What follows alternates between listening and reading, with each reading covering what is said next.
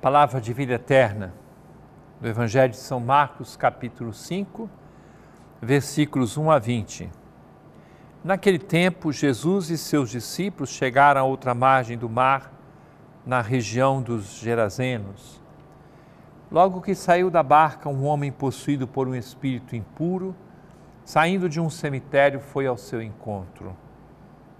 Esse homem morava no meio dos túmulos e ninguém conseguia amarrá-lo nem mesmo com correntes. Muitas vezes tinha sido amarrado com algemas e correntes, mas ele arrebentava as correntes e quebrava as algemas. E ninguém era capaz de dominá-lo. Dia e noite, ele vagava entre os túmulos e pelos montes, gritando e ferindo-se com pedras. Vendo Jesus de longe, o endemoniado correu, caiu de joelhos diante dele e gritou bem alto: que tens a ver comigo, Jesus, Filho do Deus Altíssimo? Eu te conjuro por Deus, não me atormentes. Com efeito, Jesus lhe dizia: Espírito impuro, sai desse homem. Então Jesus perguntou: Qual é o teu nome? O homem respondeu: Meu nome é Legião, porque somos muitos. E pedia com insistência para que Jesus não o expulsasse da região. Havia aí perto uma grande manada de porcos pastando na montanha. O espírito impuro suplicou então: manda-nos para os porcos, para que entremos neles. Jesus permitiu. Os espíritos impuros saíram do homem e entraram nos porcos, e toda a manada, mais ou menos uns dois mil porcos, atirou-se monte abaixo para dentro do mar, onde se afogou.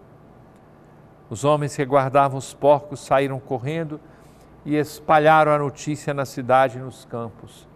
E as pessoas foram ver o que havia acontecido. Elas foram até Jesus e viram o endemoniado sentado, vestido no seu perfeito juízo, aquele mesmo que antes estava possuído pela legião.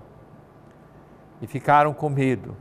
Os que tinham presenciado o fato explicaram-lhes o que havia acontecido com o endemoniado e com os porcos. Então, começaram a pedir que Jesus fosse embora da região deles. Enquanto Jesus entrava de novo na barca, o homem que tinha sido endemoniado pedia-lhe que o deixasse ficar com ele. Jesus, porém, não permitiu. Entretanto, lhe disse: Vai para casa, para junto dos teus e anuncia-lhes tudo o que o Senhor, em sua misericórdia, fez por ti. Então o homem foi embora e começou a pregar na Decápole tudo o que Jesus tinha feito por ele. E todos ficavam admirados. Depois de termos vivido o domingo, começamos uma nova semana e o evangelho que ouvimos abre os nossos olhos para perceber que as batalhas estão presentes. Ainda quando não estão acontecendo possessões, e podem acontecer, mas a opressão, a tentação, a presença do maligno acontece em nosso mundo. E as tentações estão sempre presentes. Por exemplo, pode acontecer que nós tenhamos uma preferência doentia pela presença do mal.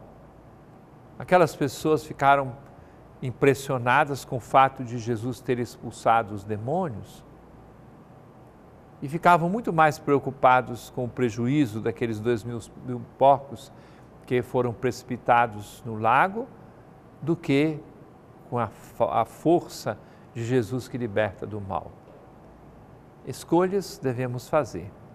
Escolher o bem, escolher a verdade, escolher também aquilo que nos incomoda porque se você quer seguir a Jesus, deverá ser capaz de fazer renúncias a tudo aquilo que corresponde à maldade que pode prejudicar a vida das pessoas. É a palavra de vida eterna.